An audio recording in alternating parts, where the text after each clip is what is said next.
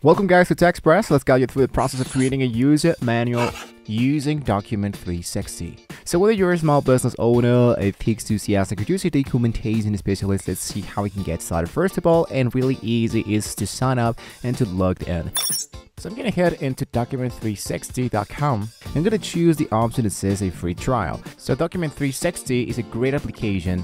Show that this one has an actual free trial in order to continue. Now it's going to be asking you to create an actual new project. For that, let's get into get started. In this case, it's going to be asking us to set up your actual profile. I can strongly recommend you to use the actual logo of your store in order to create your actual account. Then hit your first, your last name, and here you can add the basic information about yourself. For example, the basic details. So here in this case, I'm going to choose the name for the knowledge base and the relevant subdomain. In this case, I'm going to go for the product name, which is the card and coal. Now, as you can see here is the subdomain. We can change this domain later, for example, docs.atyourdomain.com. In this case, I'm going to just leave this as it is and hit into next. Now here into the editor is going to be choosing a default article editor. So you can choose the advanced uh, WYSIWYG, which is going to be helping you to format experiences for text, imaging, videos, markdown, keyboard, and so much more. If you don't know absolutely anything of adding stuff here and you want to simply edit the relies into a markdown formatting stuff and a cleaner editor looked, then choose the option that says the markdown. Now here it's going to be asking us for a design. So here in the design what you want to do is to choose the actual logo. In this case I can hit into changed and I can choose my own logo. And then it's going to be asking you for the color. You can choose for a specific color. In this case I'm going to go for something like this, and the secondary color, let's go for something related into my brand. After that, what you can do is to hit now into next, and you have now the access. In this case, since we want to create an actual knowledge base access type, and not anyone can access my site, I only wanted to invite people with the actual link that I'm going to be sending them. So in this case, I'm going to choose private. And lastly, I can hit now into create, and my product is now being created. Now, let's configure your project. So after you have created your project, you'll be taken to the project dashboard. So here into the dashboard, you can configure your product settings, you can set your product logos where you see them, the colors and other branding elements to match your company style.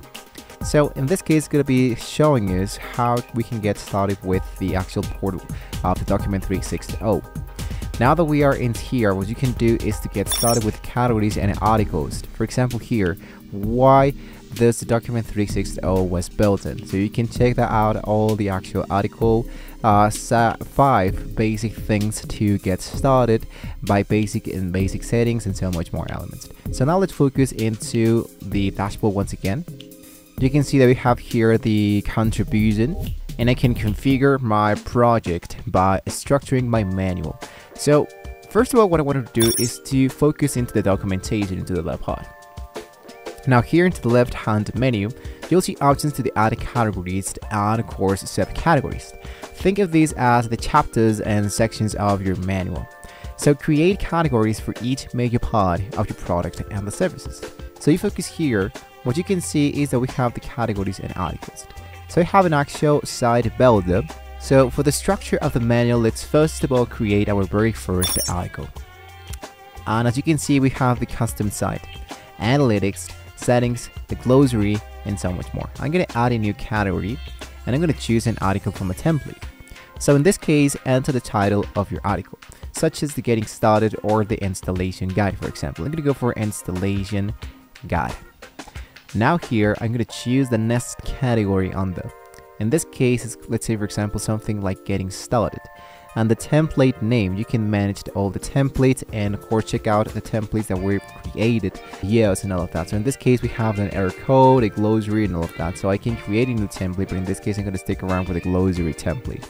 Now let's use the actual editor to edit our actual article. We can add code snippet. We can add images, videos, and other stuff to make it easy to create details and visually appealing articles.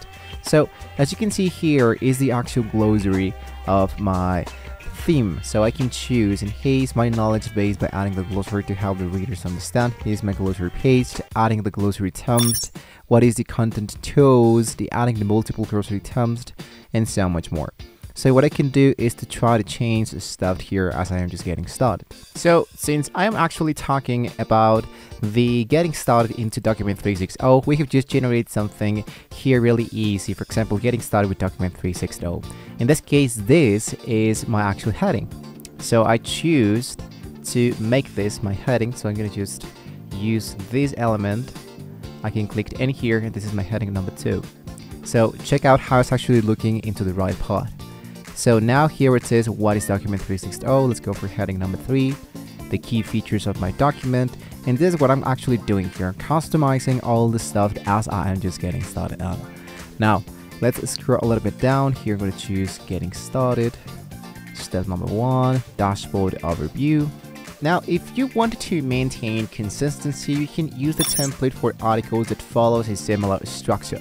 So Document 360 offers customizable templates you can use for various section you manual needed to so. So this actually saves you time and ensures uniformity across your documentations. So you can focus once again into the left part.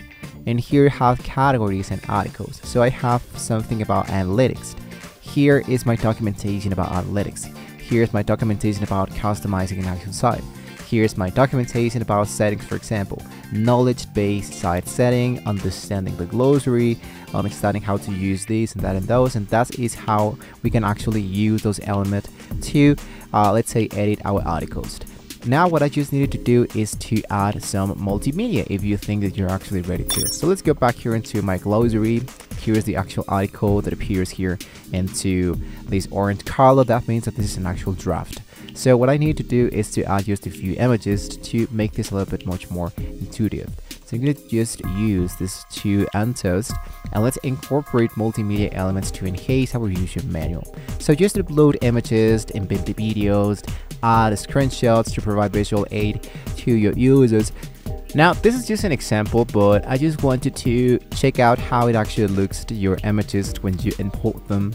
And if you wanted to change the height and the weight, you can just select those colors, those elements to check out how it actually looks. You can edit the height and the width uh, to make this a little bit much smaller. Let's go for 100 by 100 and check out how it actually looks a little bit much more smaller it's gonna be really great to organize all this stuff and let's let's review and collaborate so before publishing review your articles you can just go directly inside the preview section and check out how it actually looks into a whole new segment so you can invite team members to review to edit the content uh, so this one is going to be ensuring accuracy and completeness when it's checking out all the elements you can just create. So check out how it actually looks. It's really great so far. So if you think this one is actually good for you, let's go back. Let's go into published. And here we can enter a comment if we want to. We can configure the article settings by choosing different text, the SEO descriptions, related articles, and the status indicator. So in this case, let's go for something new because this is my very first article. If you want to make some different updates or something customizable, you can just do that in this case. In this case, we're just focusing into brand new. And now as you can see, this one is actually published. So I can copy this link and anyone who checked out this actually linked from Coding Co, which is the actual uh, ownership of my knowledge base, we are now ready to go. In this case, my knowledge base verification should be verified back here into the documentation and make sure that we can just make the choosing a plan in order to have this uh, totally live.